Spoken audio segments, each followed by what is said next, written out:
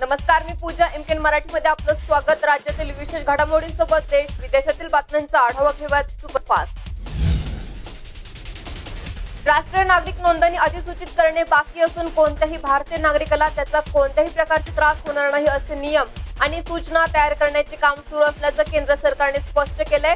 केंद्र सरकारच्या स्पष्टीकरणानंतर राष्ट्रीय नोंदणी कायद्याची अंमलबजावणी लांबणीवर पडल्याचं दिसतंय.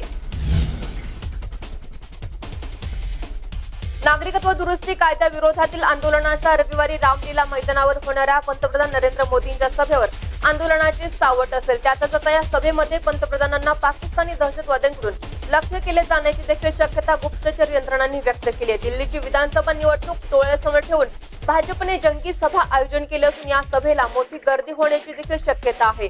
आणि या सभेच्या पार्श्वभूमीवर गुप्तचर यंत्रणांनी दिल्ली पोलिसांनी विशेष सुरक्षा दलाला सतर्कतेचा इशारा दिलाय. डॉक्टर श्रीराम लागू यांच्या पार्थिवावर आज अंत्यसंस्कार करण्यात आले. लागू यांच्या पार्थिवावर सरकारी इस्मामात अंत्यसंस्कार झाले. लागूंचे पार्थिव अंत्यदर्शनासाठी बालगंधर्व रंगमंदिर येथे सकाळी दहा ते अकरा या वेळेमध्ये ठेवण्यात आले होते. नाट्य आणि चित्रपट सृष्टीतील मान्यवरांसह यावेळी त्यांच्या चाहत्यांनी मोठ्या प्रमाणात गर्दी केली होती. राज्यात मंत्रिमंडळ विस्तार कधी होणार याची चर्चा सुरू आहे. दोन दिवसात मंत्रिमंडळ विस्तार करण्यात येईल असं सांगितलं जात असताना अजूनही याबाबत संभ्रम आहे. राष्ट्रवादी आणि शिवसेनेने आपली यादी तयार असल्याचं काँग्रेसला कळवलंय. काँग्रेसने देखील त्यांची यादी द्यावी म्हणजे एकत्रित विस्तार करता येईल असं मुख्यमंत्री उद्धव ठाकरेंनी म्हटलंय. हिवाळी अधिवेशनादरम्यान आज सर्व पक्ष आमदारांचं एकत्र फोटो सेशन झालं. विधान भवनाच्या बाहेर सर्व पक्ष आमदारांनी या फोटो सेशनला हजेरी लावली. मात्र विरोधी पक्षनेते देवेंद्र फडणवीस यांची गैरहजेरी हा चर्चेचा विषय ठरलाय. इंटरनेट सेवा बंद ठेवण्यात भारत पहिल्या क्रमांकावर असल्याची माहिती समोर येते. अफवांवर नियंत्रण ठेवण्यासाठी अनेकदा इंटरनेट सेवा बंद ठेवावी लागल्यामुळे दोन हजार अठरा मध्ये तब्बल एकशे चौतीस वेळा इंटरनेट सेवा खंडित करण्यात आली होती. जागतिक स्तरावर इंटरनेट सेवा खंडित करण्यात भारताचा अनुपात सदुसष्ट टक्के इतका आहे. इंटरनेट सेवा खंडित झाल्यामुळे मोठ्या प्रमाणात आर्थिक नुकसान देखील झाल्याचं समोर आलंय. महाविकास आघाडीचं सरकार आल्यानंतर विधिमंडळाचे पहिले अधिवेशन नागपूर येथे सुरू झाले. आज या अधिवेशनाचा शेवटचा दिवस आहे. या अधिवेशनामध्ये विरोधक भाजपने सत्ताधारी पक्षाला कोंडीत पकडण्याचा प्रयत्न केला. राज्याच्या तिजोरीची परिस्थिती पाहता शेतकऱ्यांना तुर्तास अवकाळी आणि पुरामुळे झालेल्या नुकसानीची भरपाई देऊन पुढील अर्थसंकल्पावेळी कर्जमाफीवर निर्णय घेण्याचा विचार महाविकास आघाडी सरकार करत असल्याचं समोर येत आहे तीन पक्ष एकत्र येऊन महाविकास आघाडी स्थापन झाली आहे. या महाविकास आघाडीत मित्र पक्षांसोबत खांद्याला खांदा लावून चांगल्या पद्धतीने काम करा. पण आपल्यापेक्षा कुणी वरचढ होणार नाही याची काळजी घ्या अशी सूचना काँग्रेसचे प्रभारी मल्लिकार्जुन खरगे यांनी काँग्रेस विधिमंडळामध्ये पक्षाच्या बैठकीत बोलताना केली आहे. राज्य सरकारच्या विविध पदांच्या भरतीसाठी परीक्षा घेणाऱ्या महापरीक्षा पोर्टलच्या अनागोंदी कारभाराबाबत संताप व्यक्त केला जातोय. राष्ट्रवादीचे सतीश चव्हाण यांनी विधान परिषदेमध्ये लक्षवेधी उपस्थित करून महापरीक्षा पोर्टल चालवणाऱ्या संस्थेवर कारवाई करण्याची मागणी केली होती. यानंतर परीक्षार्थींच्या भावना लक्षात घेऊन या परीक्षा पद्धतीत आवश्यक बदल करण्याची ग्वाही मुख्यमंत्री उद्धव ठाकरेंनी दिली आहे. पिंपरी पेंढारी गावाजवळ वाहनाच्या धडकेमध्ये बिबट्या ठार झाल्याची घटना घडली. आहे. कल्याण अहमदनगर हायवेवर रात्री अडीचच्या सुमारास एका वाहनाने या बिबट्याला उडवले आहेत. यामध्ये बिबट्या जागीच ठार झालाय. देशात नागरिकत्व सुधारणा कायद्याचा मोठ्या संख्येने विरोध होतोय. मात्र काही नागरिकांसाठी हा कायदा फायद्याचा ठरत आहे. या कायद्या अंतर्गत एका पाकिस्तानी महिलेला नागरिकत्व देण्यात आलं आहे. द्वारकाचे जिल्हाधिकारी नरेंद्र कुमार यांनी ट्विट करत याबाबत माहिती दिली आहे नागरिकत्व दुरुस्ती कायद्या विरोधामध्ये शांततामय मार्गाने आंदोलन करणारे इतिहासकार रामचंद्र गुहा यांच्यासह शेकडो कार्यकर्त्यांना बेंगळुरूमध्ये स्थानबद्ध करण्यात आले. काल कर्नाटकातील विविध भागांमध्ये नागरिकत्व दुरुस्ती विरोधात निदर्शने करण्यात आली. त्याच दरम्यान कर्नाटक पोलिसांनी ही कारवाई केली असल्याचं समजतंय. दरम्यान आंदोलनासाठी परवानगी दिलेली नसल्यामुळे ही कारवाई करण्यात आली आहे असं स्पष्टीकरण कर्नाटकचे मुख्यमंत्री येडियुरप्पा यांनी दिलंय. नागरिकत्व दुरुस्ती कायद्या विरोधातील आंदोलनामुळे रविवारी रामलीला मैदान दिल्ली येथे होणाऱ्या पंतप्रधान मोदींच्या सभेवर या आंदोलनाचं सावट असण्याची शक्यता वर्तवली जाते. दिल्लीची विधानसभा निवडणूक डोळ्यासमोर ठेवून भाजपने जंगी सभा आयोजित केली असून मोदींची ही सभा निवडणूक प्रचारची सुरुवात मानली जाते. आंदोलनामुळे दिल्लीमध्ये अशांतता पसरली असताना मोदींची ही सभा होणारच असं भाजपचे दिल्लीचे संघटक प्रभारी श्याम जाज यांनी सांगितलंय. दिल्लीमध्ये सुधारित नागरिकत्व कायद्याविरोधामध्ये काही दिवसांपूर्वी सुरू असलेले आंदोलन गुरुवारी चांगलंच चिघळले विद्यापीठासह शिक्षण संस्थांच्या आवारातील आंदोलनाची धग देशभर पसरली आहे दिल्लीसह मुंबई बेंगळूर लखनौ आदी शहरांसोबतच विविध राज्यात लोक रस्त्यावर उतरलेत. पोलिसांच्या गोळीबारामध्ये लखनौमध्ये एक तर मंगळूरमध्ये दोघांचा मृत्यू झालाय. देशभरात पोलिसांकडून हजारो आंदोलकांची धरपकड सुरू आहे. नागरिकत्व कायद्याच्या विरोधातील आंदोलनाच्या नावाखाली हिंसक झालेल्या जमावाचा एक व्हिडिओ गुजरातमधील अहमदाबाद मधून समोर आलाय. आंदोलनानंतर काही पोलीस कर्मचारी परत जात असताना काही उपद्रव्यांनी त्यांना घेरत त्यांच्यावर दगडफेक केल्याची घटना गुरुवारी घडली आहे. अहमदाबाद मधील शाह आलम परिसरामध्ये ही घटना घडली असून यामध्ये अनेक पोलीस कर्मचारी जखमी झालेत. या प्रकरणी बत्तीस जणांना ताब्यात घेण्यात आलं असून त्यांच्या विरोधामध्ये एफआयआर दाखल करण्यात आली आहे.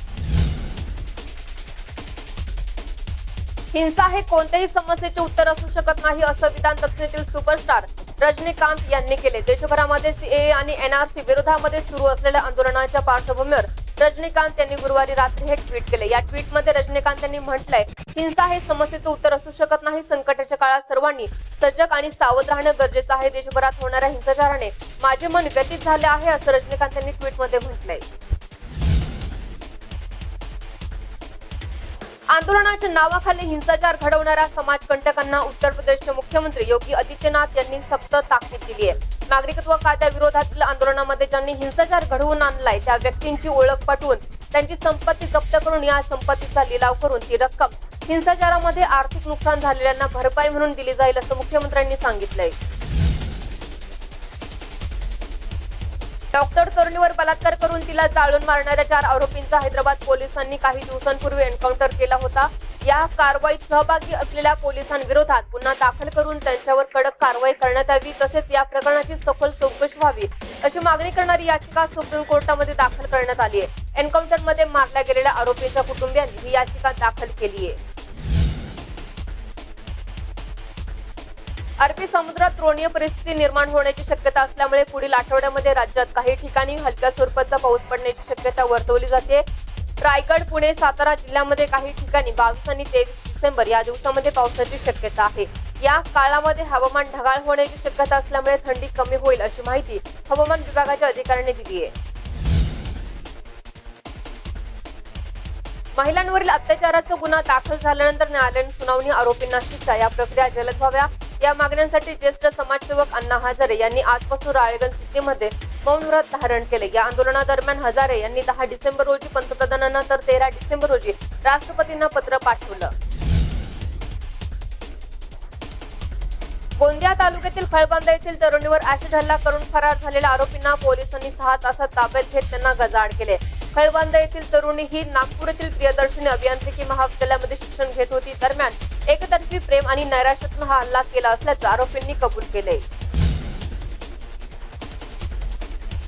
नाशिकचे पोलीस आयुक्त विश्वास नांगरे पाटील हे तरुणांचे आदर्श तर आहेत. पण लहानग्यांचे सुद्धा लाडके आहेत. याचा प्रत्यय असा किस्सा नुकताच समोर आला. एका ट्युमर झालेल्या अकरा वर्षाच्या लहानग्याने आपल्याला विश्वास नांगरे पाटील यांना भेटायचं आहे अशी इच्छा व्यक्त केली.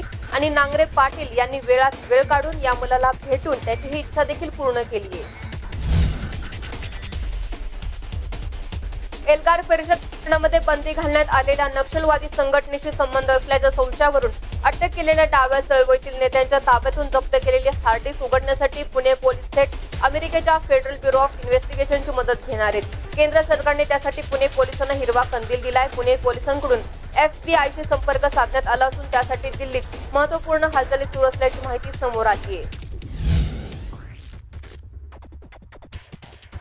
मसईमध्ये घरगुती गॅसचा स्फोट होऊन चार घरांना आग लागली आहे. या आगीमध्ये जवळपास वीस लाखाचं नुकसान झालंय. अंबड तालुक्यातील मसई तांडा येथे दुपारच्या सुमारास ही घटना घडली या आगीमध्ये कोणत्याही प्रकारची जीवितहानी झालेली नाहीये. परळी येथील महावितरण कंपनीने विद्युत मीटरचे खोटे आणि बनावट रिडिंग घेऊन बिल ग्राहकाला देऊन जास्त बिलाची मागणी करून फसवणूक केल्याचा प्रयत्न केल्याची तक्रार करण्यात आली आहे. ही फिर्याद महावितरण कर्मचारी अधिकारी आणि कंत्राटदार यांच्या विरोधात संभाजीनगर परळी पोलीस स्टेशनला देण्यात आली आहे.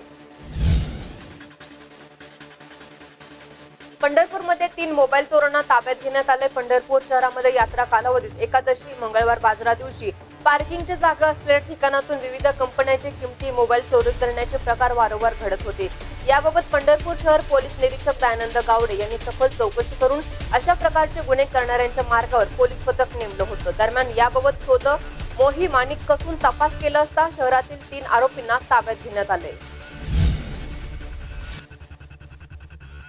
आयपीएल दोन हजार वीससाठी कोलकाता येथे खेळाडूंचा लिलाव झाला. यावेळी लिलावात एकूण त्र्याहत्तर खेळाडूंचा लिलाव झाला. यापैकी एकोणतीस खेळाडू हे विदेशी होते. सर्वात जास्त दोन कोटी रुपये मूळ किंमत असलेल्या गटामध्ये सात खेळाडू आहेत.